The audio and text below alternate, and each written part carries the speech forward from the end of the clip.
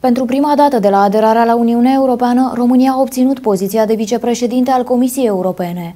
Este vorba despre Roxana Mânzatu, care a devenit și comisar european pentru muncă și educație. Roxana Mânzatu este noul comisar european din partea României și va gestiona portofoliul competențe și educație, locuri de muncă și drepturi sociale, demografie. PSD, partidul care a nominalizat-o, consideră că e vorba despre un portofoliu major care va administra o cincime din bugetul Uniunii Europene, mai exact 235 de miliarde de euro. Roxana Mânzatu, care a fost numită în premieră și vicepreședinte al Comisiei Europene, va coordona atât partea de educație cât și zona de politici sociale, dar și programele de finanțare aferente acestor domenii, respectiv Fondul Social European Plus, Fondul Social pentru Climă și Erasmus. Totuși, numirea noului comisar european a fost primită cu critici din partea liberalilor, a opoziției și chiar a sindicatelor. Blocul Național Sindical susține că portofoliul atribuit României în cadrul Comisiei Europene este o alegere politică discutabilă. BNS și-a exprimat îngrijorarea legată de reprezentanta României, Roxana Mânzatu, și susține vehement că numirea arată mai degrabă a compromis politic și vulnerabilitate și mai puțin ca o selecție și o alocare profesionistă de resurse umane propuse de statele membre în cadrul Comisiei. De asemenea, USR a acuzat din opoziție că România primește un portofoliu fără putere reală, un portofoliu din coada clasamentului ca importanță fără impact real. Portofoliul primit de România este unul de consolare oferit mai degrabă pe criterii geografice și de populație și nu pentru merite diplomatice susține USR.